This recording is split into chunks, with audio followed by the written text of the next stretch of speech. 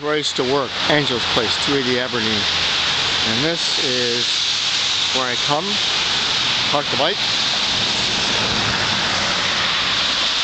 And there's this, better sign, information. Not bad. Lots of traffic, people walk by, but not say it's snowing. It's wet and yucky.